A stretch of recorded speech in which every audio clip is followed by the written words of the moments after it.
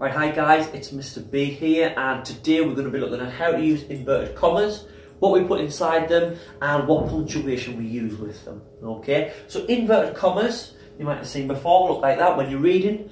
Sometimes they're called speech marks, okay? It's what we used to call them in schools, but now we call them inverted commas. Don't ask me why speech marks work for me, because, as you guessed it, they have speech inside.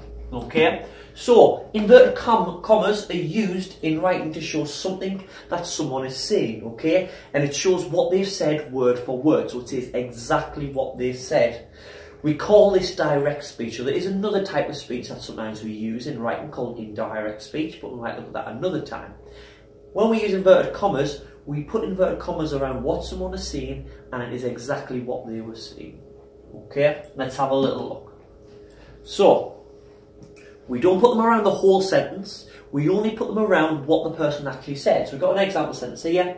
Practice your punctuation, said Mr. B. You can see we have our start of our uh, inverted commas and our end inverted commas. This is exactly what Mr. B said.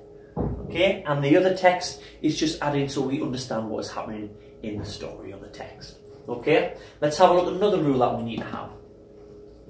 Always start with a capital letter even if it is in the middle of your sentence. So when we put our speech in, it could be in the middle of a sentence, but we still need to have a capital letter, okay? So here we have, Mr. B came over and said, hello everyone. We can see there, hello has a capital H, but it's in the middle of the sentence. That's okay because it's the speech it's inside our inverted commas. Remember that. Also need to remember that we separate uh, speech from the other text with commas unless a full stop question mark or exclamation mark is needed. That sounds a little bit wordy, so let's delve into that, okay? So they asked, are you sure? So before the inverted commas, before the direct speech, we have a comma separating this text from that bit. Okay, let's have another look at example here. Of course we are, he answered. We've got a comma there because we're going back into the text um, and it's inside the commas there. And then let's look at this last one. They looked at each other and said, we've got a comma there. Okay. Okay. Then that's the end of the sentence. So we don't have a comma at the end, we have a full stop. If it was a question, we'd have a question mark like here. Okay. But they're at the end of the sentence, so we don't have a comma there, or it would still be the same sentence and it wouldn't make sense. Okay. Let's look at another rule. So, as you can see from the different examples, we've got the same one here. Your punctuation relating to the uh, speech goes inside the commas. So I haven't did my inverted commas and the question mark afterwards. I haven't did my inverted commas then the comma afterwards. I haven't did my inverted commas and the full stop afterwards. They go inside the actual inverted commas. So any punctuation you need goes inside the commas. Okay? And then we're also going to look here that if two people are talking, you go onto a new line each time a different person starts talking. And this is separated so it's easy to read and it also lets the, uh, the reader understand who's talking. So, why did you do that? Mr. B asked. New line. I don't know, she replied. Someone else talking. Then we go back to Mr. B, so we use another line. Neither do I, he said in a mood.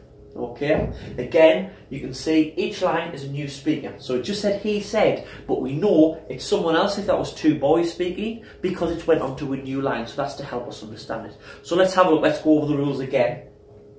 Punctuation, we've got it inside the actual comma, uh, inside the inverted commas. Okay, so inside there, question mark, comma, comma, inside. Okay, we start with a capital letter. Now, none of these are in the middle of a sentence, but the speech all starts with a capital letter. Um, what else are we looking at? Inverted commas is around not the whole sentence, it's what was actually said by the person. And also, we're separating the text with a comma. Now, this one needs a question mark, so we don't, but this one and this one have a comma because it's going in. If it was when it was saying he said in a mood, neither do I, it would be he said in a mood, comma, neither do I. So we separate it with commas. Okay? So that's all we need to really look at when we use inverted commas. Put them in to put speech in your stories, in whatever you're writing. Okay? If you've enjoyed this video and it's helped you, give it a thumbs up, give it a like. Uh, if you have any other questions, anything like that, pop them in the comments and I'll see if I can have a look at them. And of course, if you know anyone else that might um, get some help from this video, share it, and hopefully we'll be able to help some other people as well. Until next time, see you later.